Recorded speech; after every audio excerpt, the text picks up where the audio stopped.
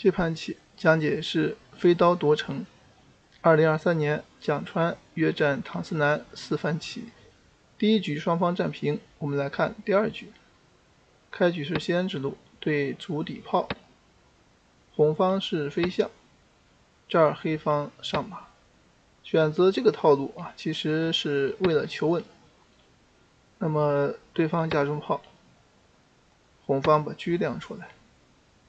黑方牵住红方，红方顺势把车守住，这样比较稳。对方上马以后，那红方就避其锋芒。黑方他快速出车，红方上马避免被压住。黑方在这儿直接选择卒三进的反击，这个棋是一个先弃后取的好棋。那么这儿的话，红方一冲，黑方一抓。现在这个棋啊，就看红方怎么走。以往招法被吃掉的话，那马受攻，马一走中路受攻，底线受攻，到这儿啊，将来还可能会车抢炮啊，可谓是火烧连营八百里啊。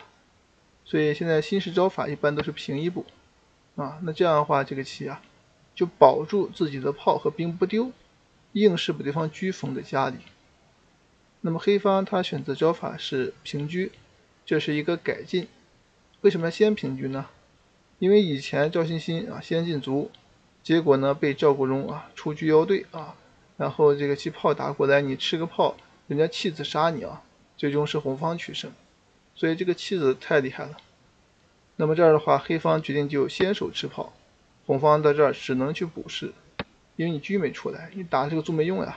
接下来黑方可以腾出手来，进七卒，没有了炮。八平三的手段，红方这个棋出车也是难讨便宜，当然也可以下啊。出车的话，就对方进卒，你再巡河车，人家吃你了，所以你得先踩车啊，再巡河车。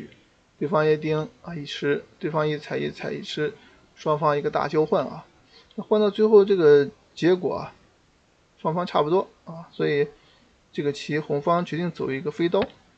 这个棋啊，他不容易想到啊，咱们看一看啊，蒋川的飞刀有多厉害。先上去踩他一脚，啊，那你现在只能过来吃嘛。他突然走出一个对炮，那这个棋有意思呀。你炮如果走开，人家就看住马了，你也吃不到这个兵了啊。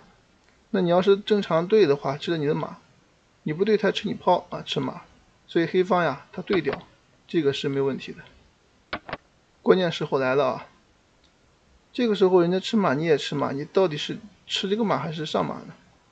先分析一下这个黑方车吃马的用意，他吃马是假，主要是把马逼退，把这个兵吃掉，将来把炮赶走，解除这个封车的特点啊。所以的话，这个棋它主要目的是为了吃兵，不是为了吃马。那这儿的话，应该来说就应该上马，保留这样一个吃马。如果你这看的话，就平炮再打，这样的话终究可以把兵吃掉。那么临场的话，他直接给吃了，这个属于蛮干呀。吃完之后啊，再退一步想去吃兵的时候啊，红方来了一招炮八平一，黑方到这儿啊双车去抢，那胁迫红方得吃，那红方就吃了。黑方一登以后，他是为了多跳一步马，找机会再长车啊，保持灵活。红方到这儿直接就把象给吃了。如果你要挡的话，他在吃你啊，将来还可以抢卒。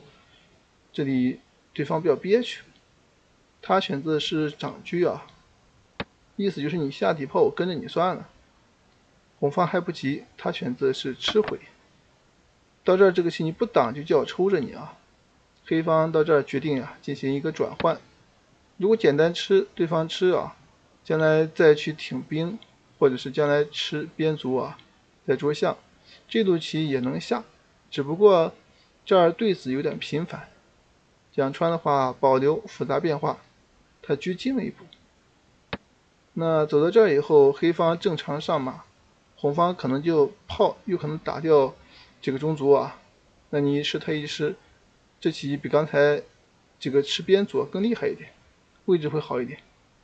那么这儿黑方他不甘心丢这个卒啊，冲起来，红方则是小兵冲过去，看住炮啊，这炮就可以陷住车，然后呢这兵又过河。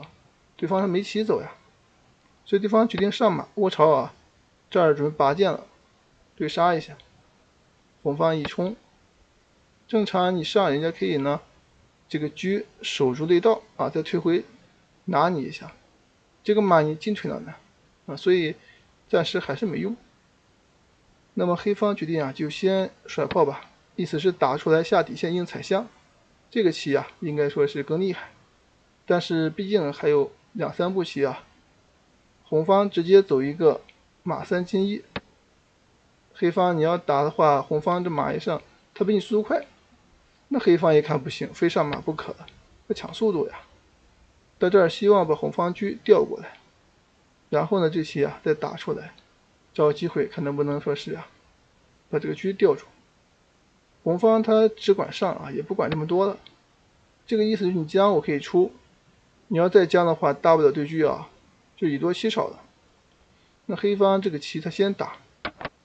红方平车把肋护住啊，到这以后对方就认了，为什么呢？你想吃这个兵你还吃不到，你将军他可以出，然后他这边啊随时一踩去你怎么办？